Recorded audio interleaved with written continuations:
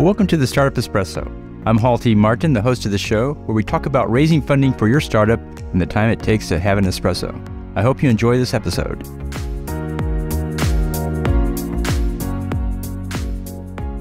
Hello, this is Hall T. Martin with the Startup Funding Espresso, your daily shot of startup funding and investing.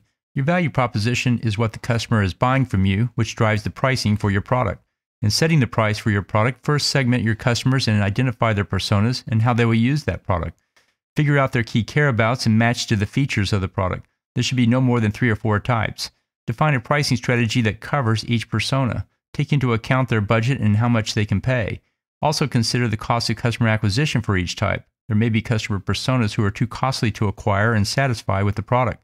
Remove these from your target customer persona list. The more you know about your customers, the more accurately you can define your pricing.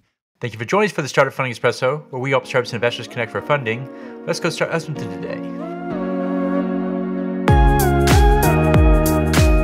T. Martin is the director of Investor Connect, which is a 501c3 nonprofit dedicated to the education of investors for early stage funding. All opinions expressed by Hall and podcast guests are solely their own opinions and do not reflect the opinion of Investor Connect.